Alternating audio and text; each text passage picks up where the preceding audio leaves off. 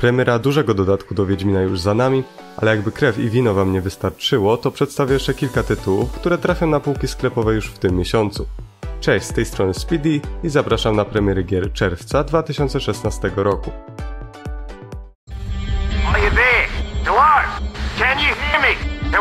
We were just attacked. Maybe now we can hold out until help arrives. There is no help. This thing can't be stopped. You need to get out of there, and I can help you.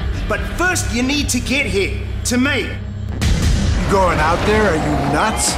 On three. One, two, fuck it, three! Dead Island Definitive Collection to pakiet zawierający zremasterowane dwie produkcje wraz ze wszystkimi wydanymi do nich dodatkami. W skład zestawu wchodzi Dead Island z 2011 roku oraz Dead Island Riptide z 2013. Obydwa tytuły zostały stworzone przez polskie studio Techland, znane m.in. również z Dying Light. Fabuła nie uległa właściwie żadnej zmianie. W pierwszej części trafiamy na wyspę Banoi, gdzie jesteśmy zmuszeni walczyć o przetrwanie, gdyż lokacja została opanowana przez liczne hordy zombie. Z kolei w drugiej odsłonie są kontynuowane rozpoczęte w jedynce wątki, jednak akcja rozgrywa się na wyspie Panai. Premiera Dead Island Definitive Collection 1 czerwca na PC oraz konsole nowej generacji.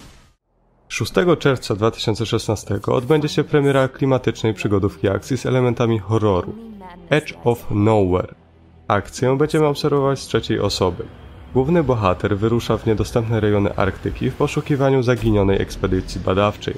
Jednak na pierwszy rzut oka zwyczajna misja ratunkowa okaże się niebezpieczną podróżą w nieznane. Produkcja została stworzona z myślą o goglach rzeczywistości rozszerzonej Oculus Rift i zadebiutuje tylko na PC-ty. You're wrong. Mirror's Edge Catalyst to kolejna część serii opowiadającej o młodej dziewczynie imieniem Faith. W tej odsłonie nasza biegaczka trafia do ogromnego otwartego świata i to właśnie od nas będzie zależała kolejność wykonywanych misji. Ale na tym nie koniec zmian. Ulepszeniu uległa oprawa wizualna, tak samo jak i model poruszania się po metropolii oraz walka z przeciwnikami. Premiera odbędzie się 7 czerwca 2016 roku na PC, PS4 i Xbox One.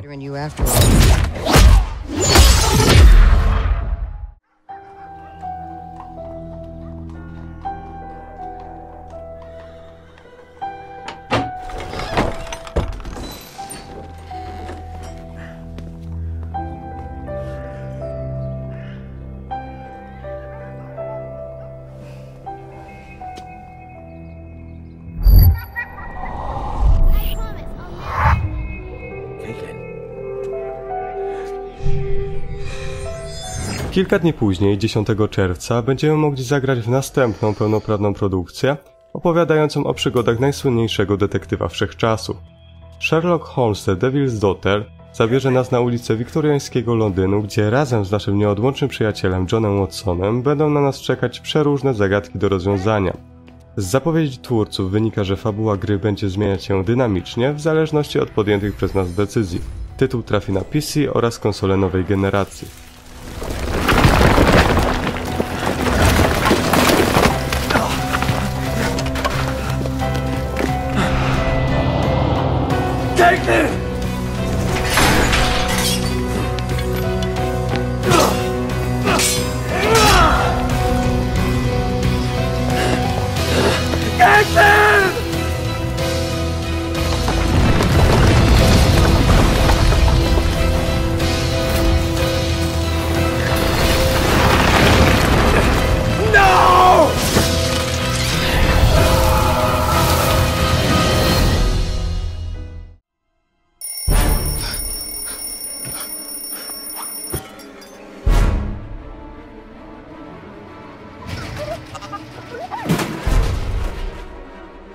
A teraz coś dla młodszych graczy. LEGO Gwiezdne Wojny Przebudzenie Mocy zadebiutuje 28 czerwca 2016 roku na chyba wszystkie dostępne platformy. PC, PS4, PlayStation 3, Xbox One, Xbox 360, PS Vita, 3DS oraz Wii U. Dużo tego. Tym razem twórcy postanowili połączyć markę popularnych wśród najmłodszych klocków LEGO razem z kultowym uniwersum Gwiezdnych Wojen. Akcja gry toczy się 30 lat po wydarzeniach z powrotu Jedi i ukazuje losy Fina, Rey oraz Paul Demerona. Dodatkowo na potrzeby gry twórcy uzupełnili luki fabularne, tworząc zupełnie nowe wątki. Światło.